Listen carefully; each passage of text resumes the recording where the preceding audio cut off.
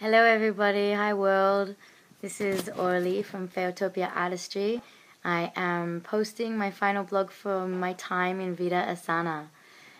This has been my first stop in Costa Rica. I've been here for about three weeks, working intensely. We created eight pieces together that um, I'm really happy with, and I think everybody else has been really happy with too. Each experience has been just as huge as I thought it would be um, it's hard to definite. It's definitely hard to get that point across before we begin.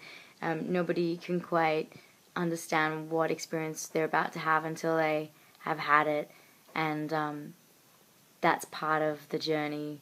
And it's been very rewarding for everybody. We've created beautiful friendships and an amazing future plans for, to collaborate and to create more, um, including involving sustainable projects around the area, which is my dream to be able to fund my life through my art and be able to connect the dots with other projects around the spaces that I paint. And and yeah, so huge success. I have really loved having this beautiful space. Um, I would show you it, but I'm not the tidiest person. I'm okay with that, but I won't show you my room. um, but it's been beautiful, and I've had the space and the time to create, and because of that, I will be presenting and painting in Cosmic Convergence Festival in Guatemala over the New Year, and I will also be painting and um, presenting in Envision Festival Costa Rica this year. So super happy to be part of these festivals. If if this isn't something that you know about me, I'm a festival fairy. I really love the spirit of festival, always have. And I've been a part of festivals in the production side and in the creative side for um, coming up 10 years. So I'm really want would love to include that in my life forevermore. But um, we know better than to make sweeping statements like that. So, um, what else can I say about this experience?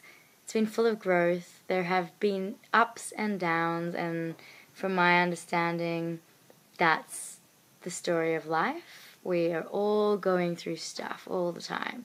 And sometimes we are, sometimes we're not. And compassion is what is required in order to live harmoniously.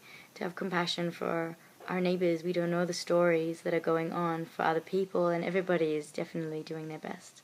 So, lots of beautiful, gentle reminders. Sometimes it's awesome to be an outsider everywhere I go. I mean, it definitely can be lonely and it definitely can be um, many things. But being an outsider gives me the ability to learn through observation and be there for other people as an outsider to their story. I, I am coming and going, and whatever I can offer from a from a spiritual perspective, um, this is my life's calling. So in the meantime, I create art, hopefully to, not hopefully, I create art to impact humanity in a way that's um, reconnecting us to our source. And painting is just one modality of doing that. That's my commitment in life. Uh, granted, I'm a human, as you all know, and doing my best too. So it's every day I grow exponentially, and if I can share any of my growth with my friends and family out there, and you have to know how much your support means to me. Like, it means so much to me. I feel you from far, far away. I, I have people all over the world connected to me through this modality of the computer, and I I feel like you're right here. Like you are part of my journey. You are the thing that you are the ones that help me continue because it's not always easy and um, and yet it feels right. So I keep going. Um, and I thank you. Soon I will have my crowdfunding uh, project coming out and then we can get some exhibitions happening and and share as much as possible. Share our art, share our heart. We need to do that. This is what we're here for. So, thank you. Thank you, Vida Asana. Thank you, everyone out there. Thank you to all these exquisite human beings who joined this experience with me.